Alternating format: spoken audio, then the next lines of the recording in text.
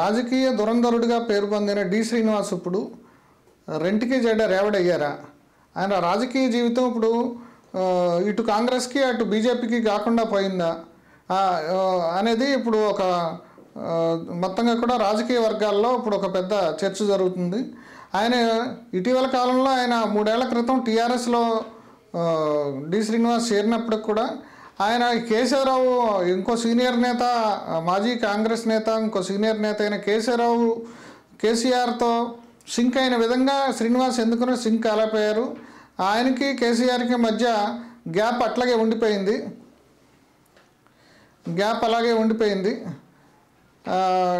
ఆ గ్యాప్ ఇప్పుడు ఎప్పటికైనా సర్దుకుంటుందని చెప్పేసి అనుకున్నారు. అంతేకాకుండా నిజామాబాద్కు సంబంధించిన రాజకీయాల్లో ఇప్పుడు ఈయన టీఆర్ఎస్కి వ్యతిరేకంగా డి. శ్రీనివాస్ పనిచేస్తున్నారని కూడా కొన్ని ఆరోపణలు వచ్చినాయి.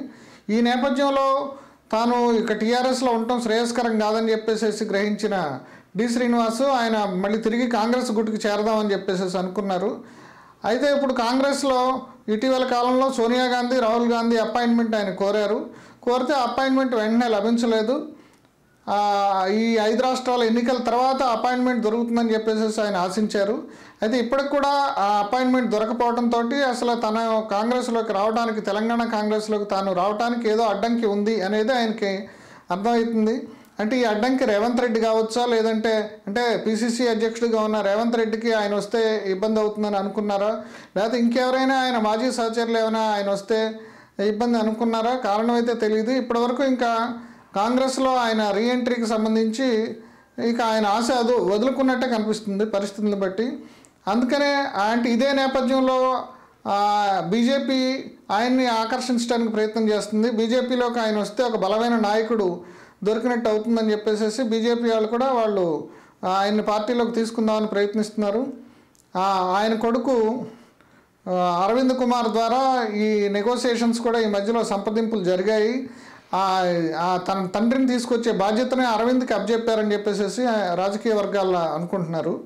అంటే ఇటువంటి పరిస్థితుల్లో ఇంకా రేపు జూన్ కల్లా ఆయన రాజ్యసభ సభ్యత్వం ముగుస్తుంది టీఆర్ఎస్ ఇచ్చిన రాజ్యసభ సభ్యత్వం ముగుస్తుంది. ఈ ముగిసిన నేపథ్యంలో ఇప్పుడు టీఆర్ఎస్ నుంచి ఇటు బీజేపీకి వెళ్తే తనకు రాజ్యసభ సభ్యత్వం ఏదైనా హామీ దొరికితే వెళ్ళాలని ఆయన అనుకుంటున్నారు. ఈ హామీ దొరుకుతుందా లేదనే దాని మీద ఇప్పుడు చర్చ జరుగుతుంది. ఒకనాడు రాజశేఖర రెడ్డితో స- సమానమైన నేతగా ఉన్న డి శ్రీనివాసు రాజకీయ భవిష్యత్తు ఈ రకంగా జరగటం ఏంటని ఒక చాలామంది ఒక రకంగా ఒక ఆవేదన వ్యక్తం చేస్తున్నారు. ఒకప్పుడు సోనియా గాంధీ దృష్టిలో రాజశేఖర రెడ్డి ఎంతో డి శ్రీనివాస్ అంతే.